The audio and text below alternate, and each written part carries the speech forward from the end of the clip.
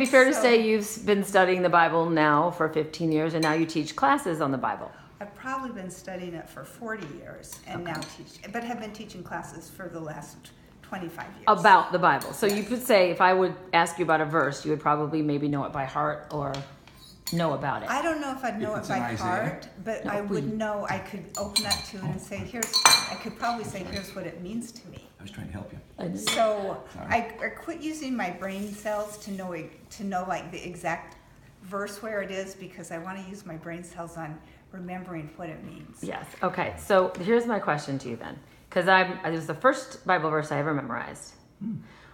And I remember because that's how I got through Bible class because I have a photographic memory and I can memorize really easily. Oh, I wish I had. And the verse, and and it also made me feel really good, and it was about the lion and the lamb laying down together.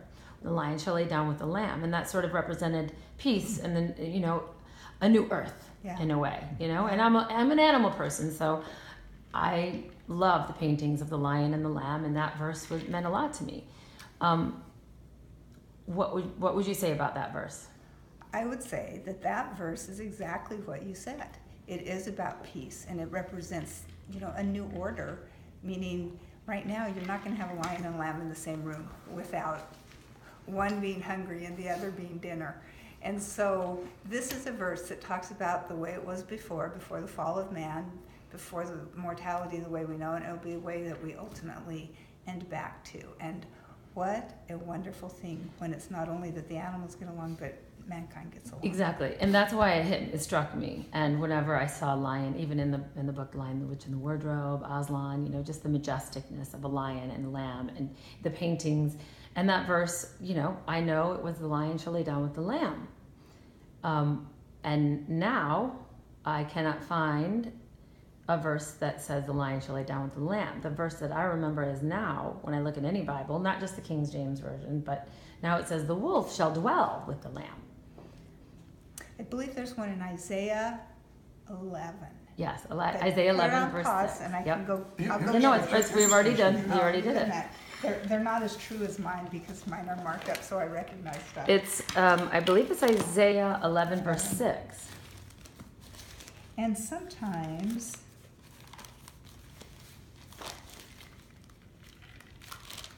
would you go get my Bible?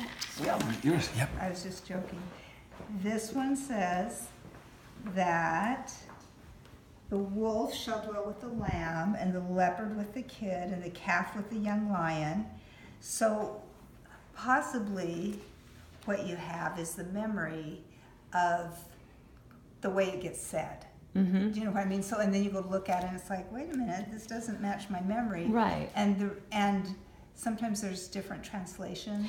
And and that's yeah, and I and, and and the reason I ask you this is I've done so much research on it, along with uh, thousands of other people who are having the same question about this verse. And in any translation of any Bible, even the one that my mom has from when she was a kid, and then the one that my mom has, she gave to my uh, my dad for their anniversary, and even in the one I have when I rededicated my life to Christ when I was 15, it it's never says the lion shall lay down with the lamb. Let me just look and see if I have it. And Elvis Presley has a song about the lion shall lay down with the lamb, by the way. Why would he sing that if, if, if that didn't come from anything? That's the one that, when you said it to me, that's just all I remembered. I never had the wolf. No. In fact, when I read it, it's like, who stuck that in there? Sorry, that wasn't you. I got me.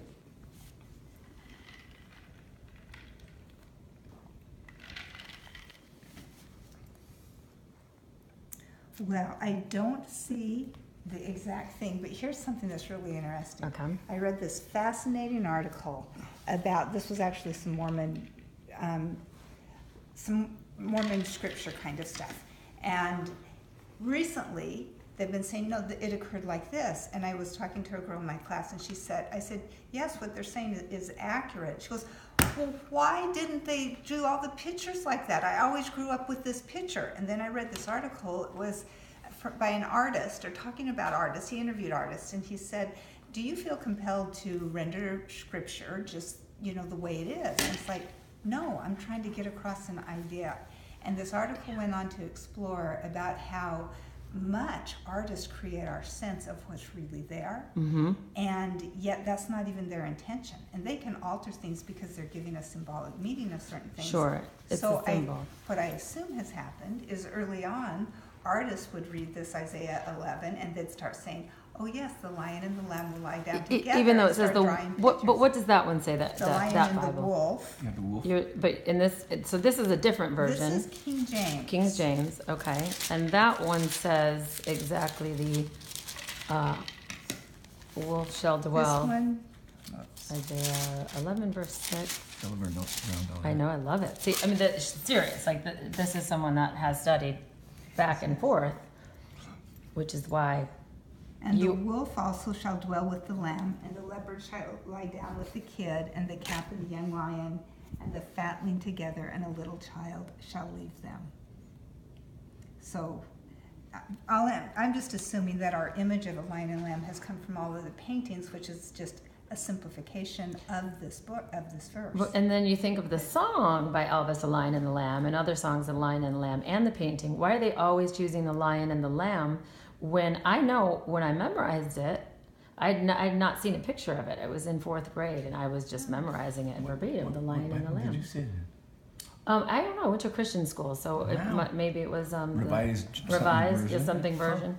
But it always surprises people, and you uh, studying the Bible before you opened it, we're talking about Yeah. the lion and the lamb. Mm-hmm. So there's thousands of people right now um, that are they're seeing a lot of changes happening in, in Yeah. what they call the shift of of the the universe right now. It's getting close to a new heaven and a new earth, and things are changing, and it's called the Mandela effect. But one of the changes is there are other um, verses like the Lord's Prayer. There's no longer trespasses in the Lord's Prayer, which is interesting because in no version can they find trespasses. Um, just one more statement on the lion and the lamb is you can see why it would take off because of the alliteration, Yeah. you know, and, and it's just, it's memorable. And you probably have preachers early on. But why would wouldn't they take say wolf? Because that's such a very like that is more poignant, I think, a wolf laying with a lamb because wolves eat lambs. That would be more poignant to say the wolf shall dwell with the lamb, and then there should be paintings of wolves and lambs. Do you know what I mean?